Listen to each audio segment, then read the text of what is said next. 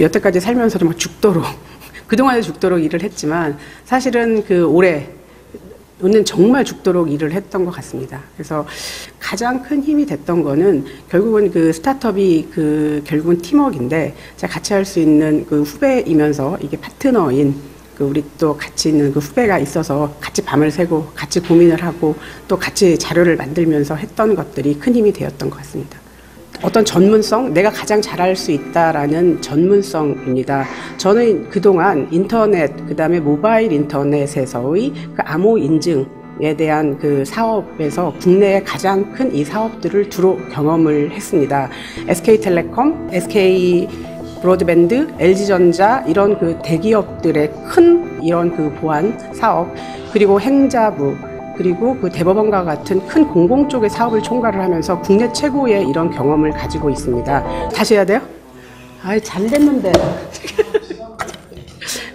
어디부터 하지?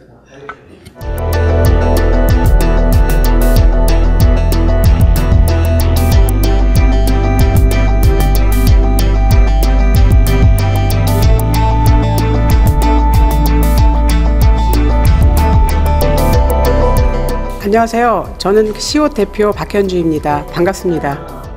그 저희는 그 보안 분야에서도 암호 인증을 그 전문으로 하는 회사입니다. 그 당뇨병 환자들이 그 피부에 인슐린을 공급을 받기 위해서 본체를 피부에 부착을 하고 인슐린 공급을 받습니다. 이 공급을 하는 그 시간과 이런 양을 그 리모트 컨트롤로 이 제어를 합니다. 근데 그 리모트 컨트롤은 무선으로 이 본체 제어를 하는데 최근에 그 존슨앤존슨이 리모트 컨트롤러를 무선으로 이렇게 그 컨트롤을 하면서 이게 암호화가 되어 있지 않아서 그 해킹의 위험이 있고 이로 인해서 그 생명까지 지장을 줄 수 있다라고 그 시인을 하면서 그 11만 명의 이 고객들한테 공지를 한 바 있습니다. 그 저희는 이와 같이 이 무선 구간에서 작은 이 IoT 센서에까지 보안을 다 공급을 할 수 있도록 하는 그 암호화와 이 인증에 대한 이런 기술을 가지고 그 사업을 하는 IoT 보안 전문 회사입니다.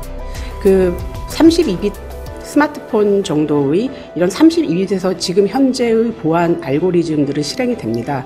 하지만 이 센서 등 그 8빗이나 16빗 그 디바이스들이 굉장히 많은 부분을 차지하는 그 IoT 환경에서는 이러한 그 보안 알고리즘을 적용을 해서 실행을 하기는 한계가 있습니다. 그래서 저희는 기존의 이런 그 소프트웨어로 그 보안을 적용했던 이런 거를 하드웨어 방식으로 통해서 그 혁신적인 아이디어를 기반으로 해서 그 시옷을 그 창업을 했습니다.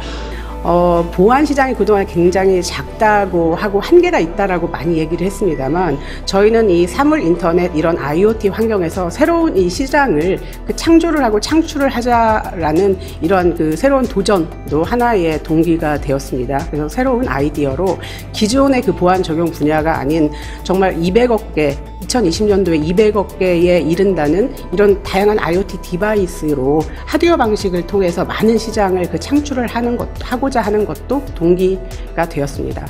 저희는 그동안에 SK텔레콤, 그다음에 SK브로드밴드, LG전자 이런 대기업들의 그 세계 표준을 맞춘 이런 그 소프트웨어 기반의 이런 솔루션을 개발해서 공급을 하면서 여러 가지 글로벌 규격에 대한 노하우를 가지고 있고 현재 그 시오 제품은 무조건 설계부터 그 마케팅까지 글로벌 그 규격 또 글로벌의 어떤 마케팅에 입각해서 진행을 하고 있습니다. 그래서 모든 그, 규, 그 제품들은 글로벌 규격을 탑재를 하고 있고 마케팅도 그 올해 그 6월에 그 파리의 그 로드쇼에 가서 좋은 이 그 결과를 얻었는데 이로 인해서 꾸준히 그 외국하고도 이런 그 마케팅이 이루어져 있고 그래서 저희는 규격을 통해 새로운 규, 글로벌 규격을 맞추어서 그 제품을 개발을 하고 아직은 완벽한 이런 그 완성이 된 제품은 아니지만 그 해외에도 동시에 이렇게 마케팅을 진행하면서 검증을 하면서 어느 정도 그 우리의 아이디어나 이런 그 사업에 대한 이 그 계획이 에 대해서 검증을 하고 그 동시에 그 국내와 글로벌 기업으로 진 글로벌 그 시장으로 진출을 하려고 하고 있습니다.